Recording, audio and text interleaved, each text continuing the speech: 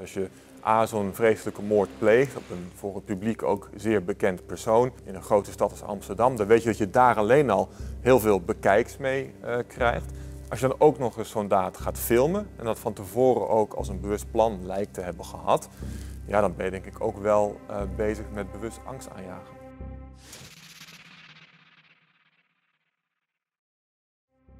Bij het raam van de McDonald's zitten ze wat te eten. Twee mannen met een griezelige opdracht. Het is 6 juli 2021, iets na half zeven. Een uur later verlaat Peter R. de Vries de Boulevardstudio. Meteen lopen Geroer M. en Eriksson O. achter hem aan. Na de aanslag rent de filmploeg naar de parkeergarage, waar buurtbewoners zich ontfermen over de zwaargewonde Peter R. Vries. Minutenlang blijven de filmers rondhangen terwijl ze foto's en video's maken. De beelden worden razendsnel verspreid.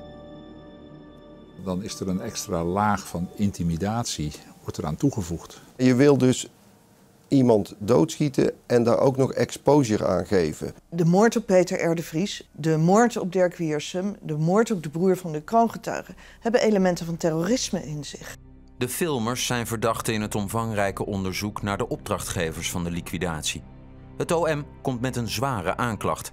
Lidmaatschap van een criminele organisatie die het doel had geweldsmisdrijven te plegen, waaronder moord met een terroristisch oogmerk. Uit de wijze waarop de moordaanslag op Peter R. de Vries is uitgevoerd en door het maken en verspreiden van de filmbeelden rijst het vermoeden dat beoogd is om de bevolking of een deel van de bevolking ernstige vrees aan te jagen. En daarmee kom je volgens mij wel aan een wezenlijk kenmerk van terrorisme, namelijk geweld gebruiken, schokkend geweld gebruiken om eigenlijk te communiceren. Om een breed publiek te intimideren bijvoorbeeld, maar ook om bijvoorbeeld mensen te uh, inspireren om soortgelijke daden te plegen.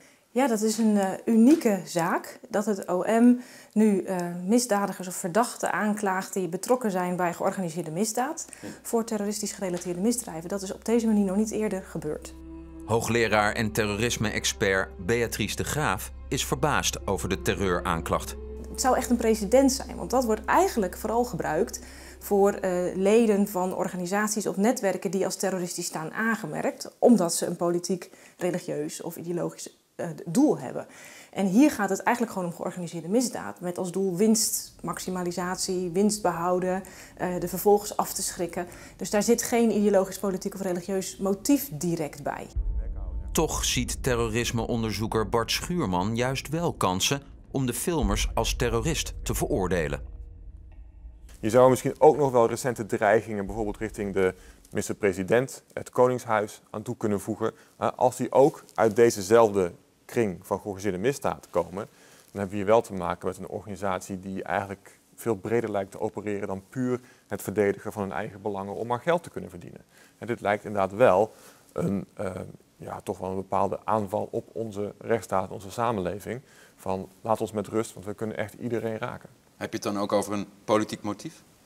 Daar lijkt wel een bepaald politiek motief uit uh, naar voren te komen. Maar het is natuurlijk wel een stuk minder duidelijk dan bijvoorbeeld bij een organisatie als IS of de IRA, waar je ook een heel duidelijke achterliggende ideologie kunt ontwaren. De terrorismeparagraaf is ontwikkeld na de terreuraanslagen in de VS, 11 september 2001. De nieuwe wet wordt gebruikt om Mohammed B., moordenaar van Theo van Gogh, als terrorist te veroordelen. Maar de moordaanslag op Peter R. de Vries kun je daar moeilijk mee vergelijken, vindt Beatrice de Graaf.